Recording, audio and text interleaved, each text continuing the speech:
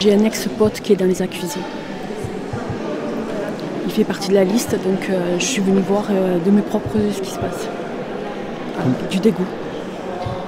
Il faut aussi, je pense, remettre l'église au milieu du village. Tous les hommes ne ressemblent pas à ceux qu'on voit dans ce procès. Je suis peut-être optimiste en disant ça, mais je préfère l'être.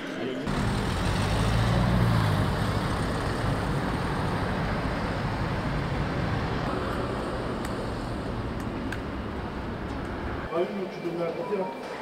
Vas-y, allez. Je suis pas sûre que ces 50 hommes aient d'autres points communs que le fait d'être des hommes euh, ordinaires, des représentants, si je puis dire, d'un petit échantillon euh, euh, d'hommes français de tous âges, de toutes conditions, de tous milieux sociaux. Du moins, je le suppose, on, verra, là on, en est à, je crois, dans le cadre du procès, à l'audition des, des, co-accusés successives. leur seul point commun, c'est d'avoir commis cet acte. Si déjà nous parvenons avec ce dossier à à, tuer ce mythe euh, terrible hein, du violeur de parking et qu'on s'aperçoit qu'en réalité euh, les violeurs, euh, il en existe à tous les étages, à tout, dans toutes les catégories socio-professionnelles, socio-culturelles, on aura déjà fait un grand pas.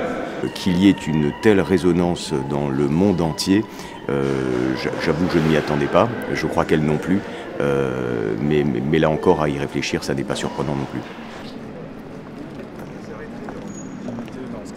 Oui, oui.